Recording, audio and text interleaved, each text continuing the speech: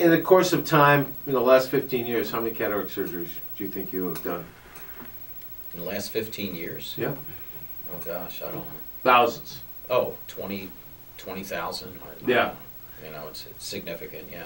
When, That's, that's why I came down here. Oh, I, well, I know, I loved it in my residency and I was chief resident and I thought, this is what I really want to do. This is fun.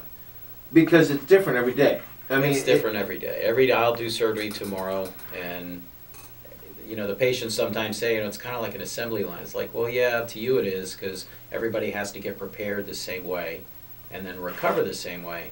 But every surgery is, is got nuances. Everyone is different, and and the goals of every patient are different. One guy had LASIK.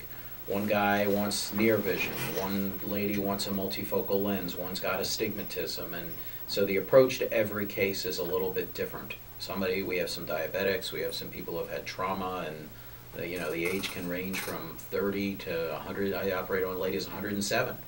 You know, so uh, the the age range. I mean, they're all every case is different when you sit down for every surgery. It, that's kind of neat. I mean, when you think about it that way, how, how different everybody is, and, and you know the, the heredity of the situation and, huge, and everything. huge. Yeah, and it's it's it's it's cool when you when we think about what we're doing. You know, we're actually inside your eye, re- working in there in the fluid in your eye under a microscope, removing the lens and and replacing it, and preserving all the tissues around it, so that there's proper support and your eye looks normal. I mean, you don't want to. You know, in the old days, you had cataract surgery, you had a big cat eye. You don't want that nowadays. Yeah. That'd be unacceptable. Well, you couldn't move. They had sandbags around your head. Oh yeah, you know, yeah. Ten days. So uh, then now it's six minutes. So it's changed a little bit. The, the thing that I found not amusing, but well, it was, but you know, is is the eye doctor about to do the surgery on your eye. He says, you know, I can't even tie my shoes. Got Velcro, huh? Got Velcro. Right. And I go, That's not exactly what you want to hear when they sit down to do your surgery. well, all, I couldn't see him. All I could see was because my f- whole face was. I was getting. I think it was. Yeah. 19 stitches in my eye Mhm. for basketball, and I'm looking up, and all, all I see is the bright light. Right. And this guy says, "You know, I can't even tie my shoes right." Right. And I go, "Ah," and then I was gone. Right. Yeah, Having a very bad dream, probably. yeah. But with eye surgery, and when people go there to the state-of-the-art surgery, S- St. Lucie's Outpatient Center, Yes. when you're looking at somebody's eyes, and there have been cases where the the the lens you put in doesn't work. Very rare, but it does happen. Sure. And the person comes back, and is there a problem going back into the eye that's already been slit? I would say if this original surgery was done correctly, then the eye is very amenable to changes. Okay. And I and I would t- I tell all my LASIK and previous RK patients, you know, the chances of a lens exchange are significant because the calculations to get the lens power estimate, because we got to predict ahead of time what lens to put in your eye. Do you need a 12, a 13, a 14.5, a 32.7? You know, we got to measure it and figure it out, just like glasses. The lens implants come in all different powers because everybody's eye is different, so it's customized. There's no 100%. So you're always going to have a, a rate of error in your calculations, so you may have to go back and exchange the lens. But if you go into it uh, with that knowledge or, or Yeah. anticipation and do the surgery a certain way, I can exchange a lens in two to four minutes.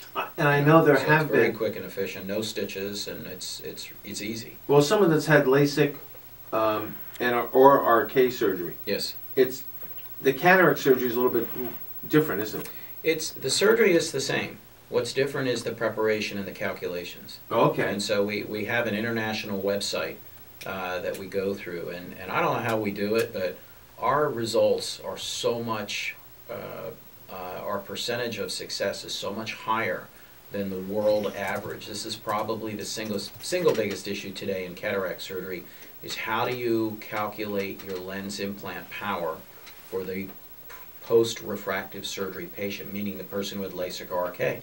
And I, I, I would say on average, I probably do three to five a week of people who have had previous surgery because these are people that had surgery in the 80s and 90s and now they're in their 70s. You know, they were in their 40s or 30s, 40s, 50s, and now 20, 30 years later, they're having cataract surgery. So we do a lot of them, you know, and, and man, our numbers are, are spot on. I mean, there's the rare patient I have to go back and exchange the lens.